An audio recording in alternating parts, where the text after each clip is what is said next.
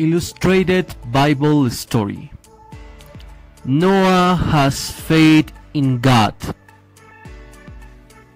Genesis chapter 5 verse 28 chapter 8 verse 22 Noah a righteous man lived in a violent world it was hard for him to live among wicked people who did not respect Jehovah.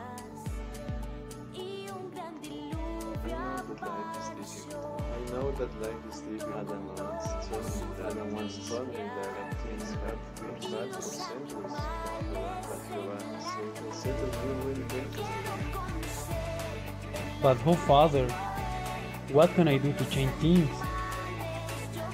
Jehovah decided to bring a flood to destroy the wicked people. He told Noah how he and his family could survive. Build an ark. You and your family must go into the ark, and you must bring every sort of bird and animal with you, so that they will live. I will do everything you say. Noah told his wife, his three sons, and their wives that Jehovah had said.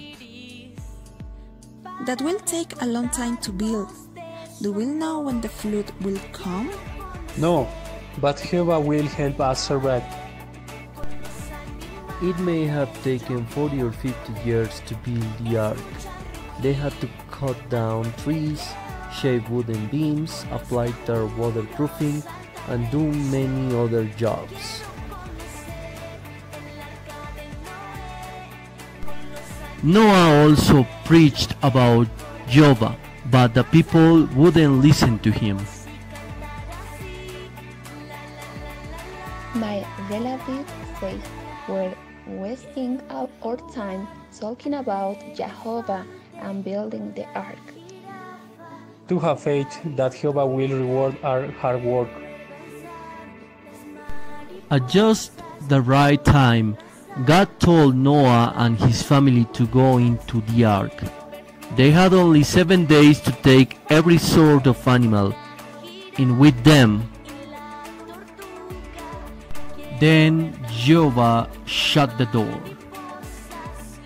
The rain poured down for 40 days. Even the tallest mountains were soon underwater.